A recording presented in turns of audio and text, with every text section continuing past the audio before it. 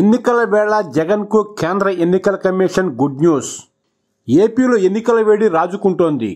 Schedule విడుదల కావడానికి ఎంతో సమయం లేదు. దేశవ్యాప్తంగా లోక్సభతో పాటు ఏపీ అసెంబ్లీ ఎన్నికలకు మార్చి మూడో వారంలో షెడ్యూల్ విడుదల కావడం దాదాపు ఖాయమైంది.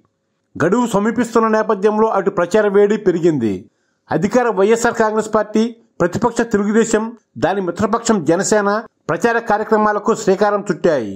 వైసీపీ ఇప్పటికే ఆరు విడతల్లో పలు అసెంబ్లీ లోక్సభ నియోజకవర్గాలకు అభ్యర్థులను ఖరారు చేసింది.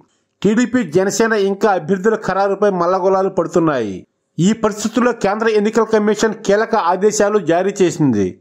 ఎన్నికల విధుల్లో గ్రామ వార్డు సచివాలయ ఉద్యోగాలను వినియోగించడానికి గ్రీన్ సిగ్నల్ ఇచ్చింది. ఈ మేరకు ఎన్నికల ప్రధానాధికారి ముఖేష్ కుమార్ మీనా నో అబ్జెక్షన్ ఉత్తర్వులు జారీ చేశారు. కొన్ని షరతులను విధించారు. గ్రామ వార్డు సచివాలయ ఉద్యోగుల్ని పోలింగ్ ఆఫీసర్కు అసిస్టెంట్గా నియమించాల్సి ఉంటుంది. మిస్లేనియస్ పనులు అంటే వాటర్ వేలుపై ఇంకును పూయడం ఇతర పనుల కోసం మాత్రమే వినియోగించుకోవాల్సి ఉంటుంది. నిబంధనలకు లోబడి ఇతర ఎన్నికల పనుల కోసం వారి సేవలను తీసుకోవచ్చు. ప్రతి పోలింగ్ బూత్కు ఒక్క గ్రామ వార్డు సచివాలయ ఉద్యోగిని మాత్రమే కేటాయించాల్సి ఉంటుంది. గ్రామ వార్డు స్థాయి సచివాలయాల ఉద్యోగుల్ని బూత్ స్థాయి అధికారిగా నియమించకూడదు. గ్రామ వార్డు వాలంటీర్లు ఎన్నికల విధులకు దూరంగా ఉండాలి. పోలింగ్ ఏజెంట్లుగా మొదలుకునే ఎలాంటి ఎన్నికల విధుల్లో వారు పాల్గొనకూడదు.